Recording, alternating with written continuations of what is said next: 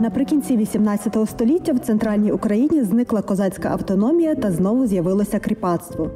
У цей час на іншому краю Європи британські інженери розробили паровий двигун, а французькі депутати проголосили: феодалізм скасовується назавжди та відрубали голову королю.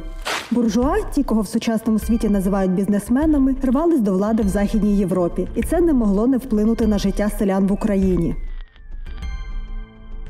У Західній Європі зросла промисловість та побільшало товарів. Щоб їх купувати, еліта Російської імперії нарощувала експорт, вивозила більше зерна та іншої сировини.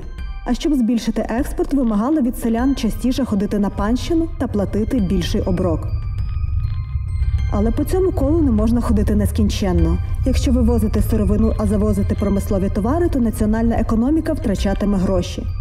Треба було розвивати промисловість у власній країні. Дворяни взялися за це, і практика швидко показала: безкоштовні кріпаки працюють на фабриках геть погано, а там, де вільні робітники працюють за зарплату, вища продуктивність і більші прибутки. Але де брати вільних робітників в Україні, у якій 80% населення кріпосні селяни? Поштовх до буржуазних реформ дала поразка у Кримській війні.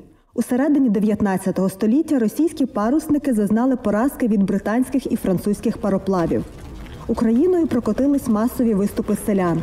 Царський уряд переконався, без заводів і залізниць Російська імперія незабаром перетвориться на другий Китай, який у той час європейські держави шматували в опіумних війнах.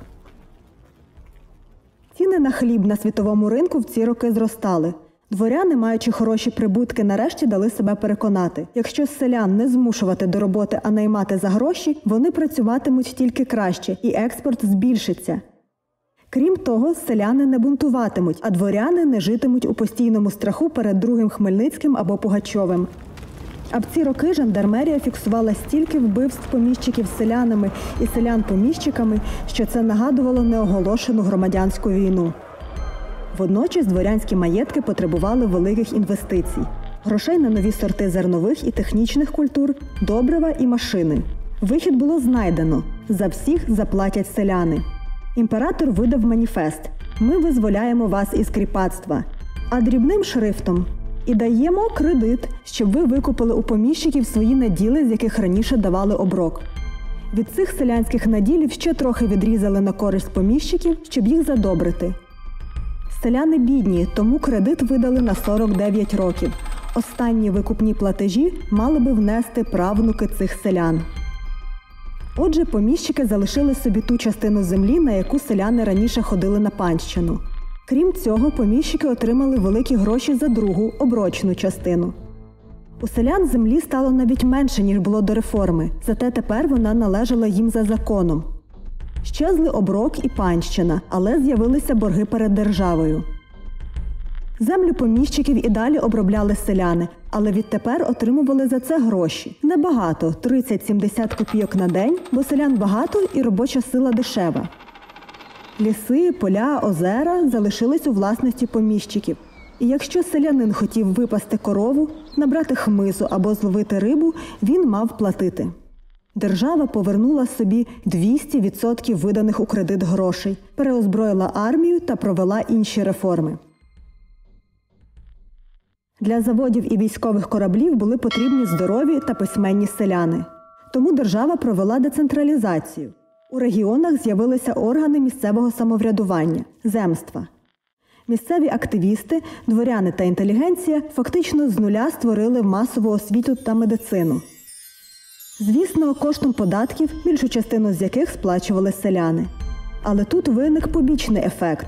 Уперше в історії селяни отримали доступ до медицини і стався демографічний вибух.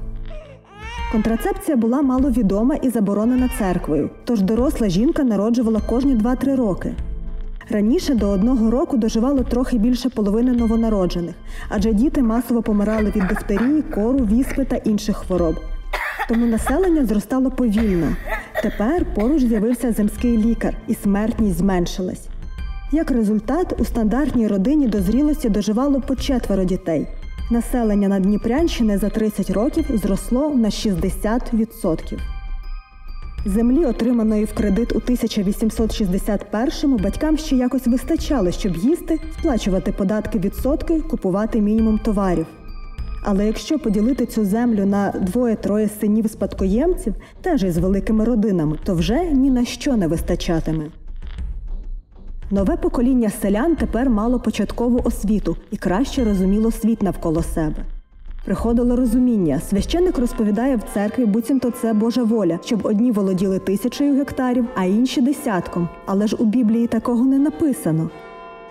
Крім того, з міста в село приходили люди, які розповідали: цар не такий вже й добрий до селян, бо цар найбільший поміщик. Атмосфера в селі початку ХХ століття була дуже напруженою. Селяни вважали розподіл землі несправедливим, розривалися між сплатою податків і відсотків за кредитом. Вони шукали вихід зі злиднів, і дехто з них переїздив до міст.